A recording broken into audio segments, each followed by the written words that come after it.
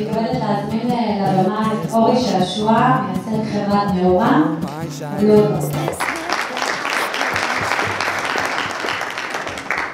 שלום, אני אורי, מחברת ניורה. באתי לדבר היום על אה, איזשהו עניין חדש שנכנס לכאן בשנים האחרונות, שהוא קשור לאובייקטים שאנחנו משתמשים בהם. מה שאתם רואים כאן, מאחוריי, זה בעצם מפה שאתם יכולים לראות בה את כל החפצים שמחוברים לאינטרנט בשנה שעברה. זאת אומרת, זה לא העתיד, זה עכשיו, וזה הולך להחמיר. ואני לא ממש מדבר על הדברים האלה שאתם כבר מכירים. הטלפונים שלנו והלפטופים שלנו נמצאים איתנו כבר הרבה שנים, אבל מה שהולך לגרום לגדילה של 50 ביליון דווייסים משישה ביליון שנמצאים פה היום, זה לא טלפונים וזה לא לפטופים, זה חפצים, מכשירים שאנחנו משתמשים בהם ברמת היומיום, ואנחנו נדבר פה היום ונראה איך כולנו הולכים להיות בסוג של מערכת יחסים עם האובייקטים שאנחנו משתמשים בהם, שהשינוי שקורה בהם זה שהם מתחברים לאינטרנט ומתחילים לשלוח data, וכשאתה שולח data, תמיד יהיה מישהו שינתח אותו, וכשמישהו ינתח אותו, אז נוצרת תודעה. אבל התודעה הזאת היא לא שייכת לאנשים, למרות שהיא דומה לתודעה של אנשים, היא שייכת לאותם אובייקטים. טיפה למי שלא מכיר את הטרנד, אז בנגיעה. אז התחיל ב-2008, ב-2008 התחלנו לחבר את עצמנו, הדבר הזה שיש לי על היד נקרא Fitbit, כל מה שהוא עושה, הוא סופר צעדים. הוא גם מנסה להבין כמה טוב אני ישן בלילה. זה סנסור, התחלתי לפגוש אותו ב-2008, היום כבר 2015, בדרך הייתה Nike, ואחרי זה ווילי ועוד רבים וטובים. והרבה מאיתנו היו לובשים את החיישנים האלה. אם אתם רוצים סטטיסטיקה, אנחנו מדברים על כל אמריקאי עשירי. קנה אקטיבית קראפים, לא מרגישים את זה בארץ, אני יודע. בארצות הברית זה הטירוף של השנים האחרונות. לסיפור הזה הצטרפו נורות. הנורה הזאת, זו נורה שיש לה שבב וי-פיי, אפשר לדבר איתה מהטלפון, היא יכולה לקבל תעודות מהאינטרנט. למסיבה הצטרף נסט, זה תרמוסטט. המטרה של האובייקט הזה היא לחסוך באנרגיה, אבל הוא עושה את זה על ידי ללמוד את ההרגלים שלנו, המשתמשים, של כל אחד מבני הבית, ולכבוד את עצמו, או לחסוך באנרגיה שאפשר. העניין הוא שזה קצת משתנה. זה התחיל בתור כל מיני אובייקטים גיקים כאלה, אין מצב שנלבש את זה עוד כמה שנים. זה מתחיל לראות ככה, זה נכנס לתוך תכשיטים, זה נכנס לתוך שעונים ואובייקטים רגילים. השעון הזה שאתם רואים עושה בדיוק מה שה Fitbit שלי עושה, רק הוא נראה כמו שעון שאישה מוכנה ללבוש, ולא כמו צמיד לשם זה הולך.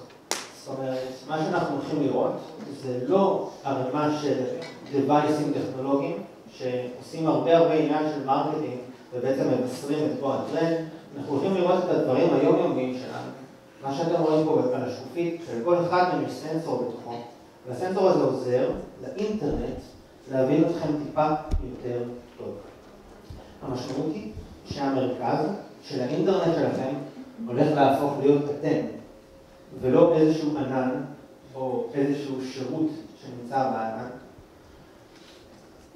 זה נקרא פוג, אנחנו קוראים לזה friends and things.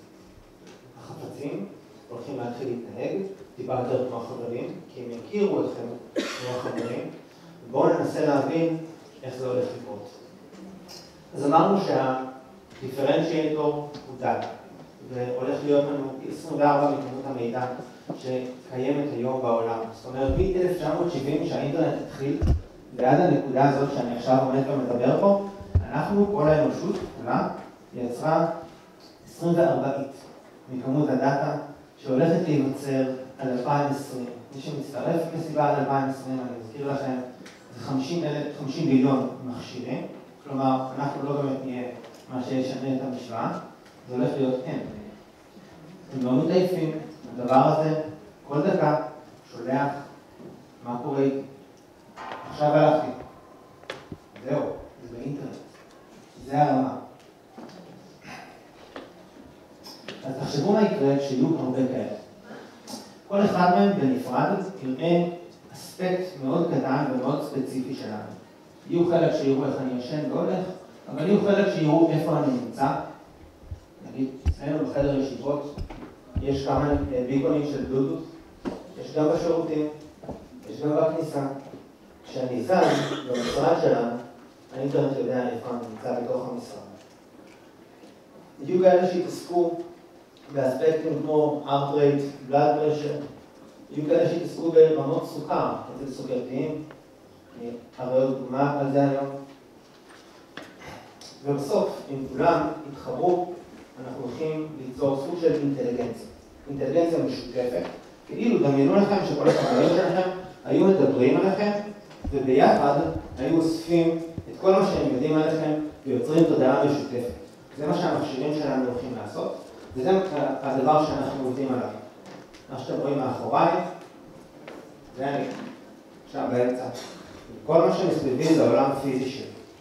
כלומר, מה שאנחנו עושים היום, אנחנו לא מנתחים כמו גוגל את העולם הווירטואלי, שאיפה גלשתי, מה מעניין אותי, מה קניתי באמזון, אנחנו מנתחים את העולם האמיתי שלי, את המקומות שאני נמצא בהם ומה שאני עושה בהם, את האנשים שאני נמצא איתם, את הפעילות שאני עושה, החפצים שנמצאים מסביבי.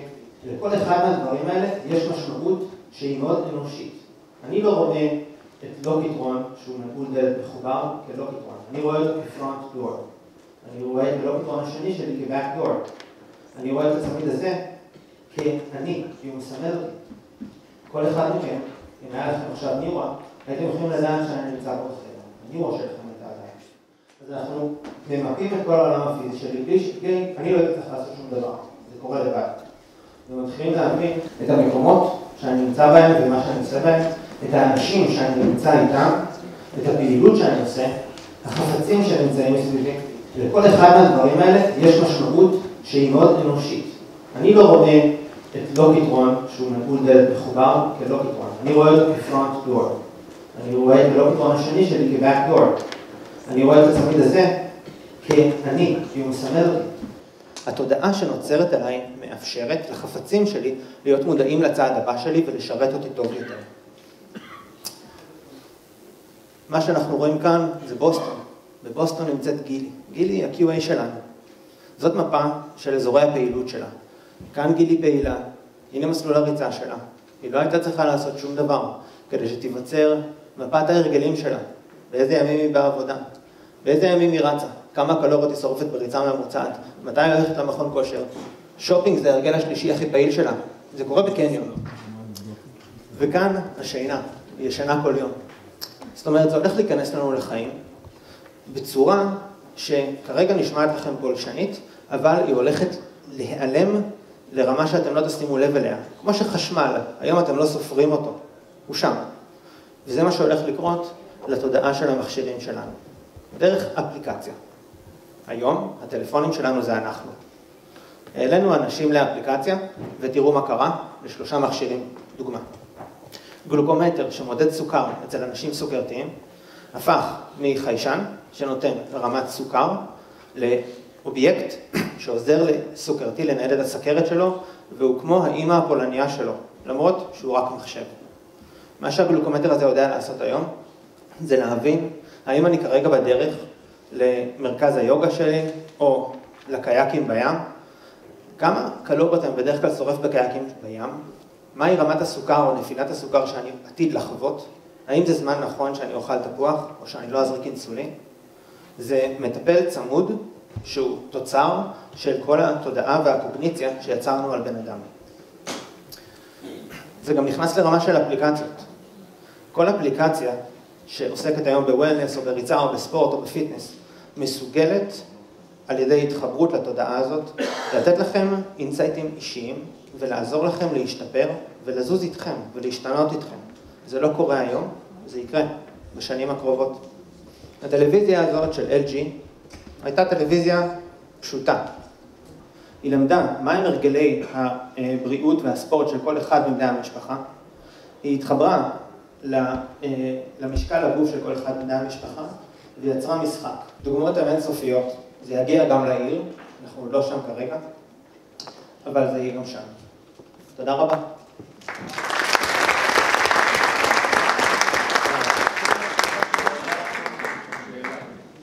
עד כמה האקר יכול להשפיע לך את החיים, כל האינפורמציה הזאת תימנה.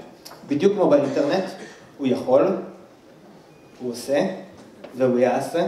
זאת אומרת, הבעיה שיש לנו היום עם סייבר הולכת בעצם להחמיר ברגע שזה הולך להיכנס לך לבית, לגוף וכו' וכו'. זה לא, הבעיה לא משתנה, היא רק מחמירה, יש יותר מקומות לתקוף בהם, אבל כשאתה חושב על זה, יש גם הרבה יותר אובייקטים שמזהים אותך. זאת אומרת, עניינים כמו אותנטיקיישן ייפתרו בצורה קלה יותר. תודה.